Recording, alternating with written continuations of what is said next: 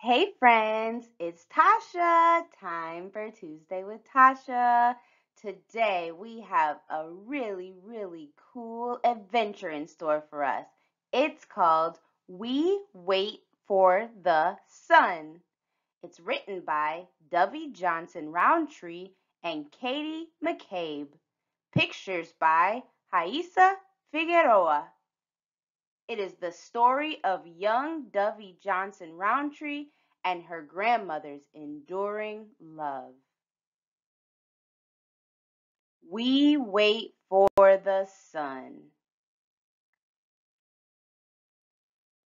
The girl in this story, Dovey Johnson Roundtree, was born more than 100 years ago in Charlotte, North Carolina, during a time of racial inequity in America she grew up to become a legendary civil rights lawyer fighting for justice. No matter how dangerous the fight was, she refused to quit. She believed that a better day was coming for African American people because that was what she had been taught by her bold and brave grandmother, Rachel Bryant Graham. Dovey loved to tell stories of her grandma Rachel. The story Dovey loved best is the one you are about to read. In the hour before dawn, we slip out of the house, and the midsummer night is dark and cool.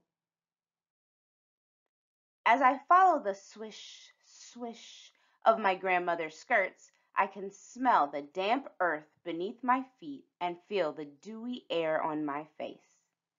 Moving through the darkness toward the woods where blackberries grow, I'm certain Grandma Rachel and I are the only ones awake in the whole world.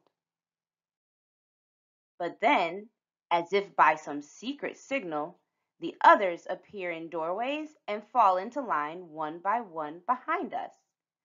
By daylight, these are the grown up ladies who come to quilt with Grandma, passing food over the fence gathering in our backyard for soap making, but now they are just shadowy figures in our silent march, our secret mission, our berry picking. It grows cooler as we enter the forest and darker. Dovey Mae, Grandma calls out. I'm right here, I answer, right over here. The darkness isn't anything to be afraid of, child. If you wait just a little, your eyes will learn to see and you can find your way.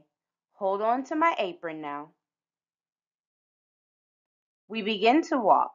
Grandma's steps are swift and sure, and I move as she does. I fix my eyes on the shiny heels of her shoes and I listen. The darkness holds a thousand sounds. As we push deeper and deeper into the woods, the blackness turns to gray and sleepy birds begin calling to each other, sending echoes through the treetops. Grandma says the birds will lead you to the best berries every time. Sure enough, as we follow the sound of beating wings just ahead, we come into a clearing ringed with berry studded bushes. The ladies swoop down, pails clanging, but I move closer to Grandma, following the sweep of her hand as it grazes a bush and comes back with the first berry of the day, frosted with dew. I open my mouth, she drops in the berry, and I bite down hard and suck the juice and know that there is no blackberry anywhere like this one. So fat it squirts seedy blue juice down my overalls and so sweet I keep licking my lips to get the taste. Grandma looks down at me and laughs. Then she turns to the bushes and starts to hum, the way she does when it's time to get to work. The clearing fills with the sounds of berries hitting tin pails. From my spot in the bushes, I pick berries as fast as I can and listen to the whispers of the goings on at church.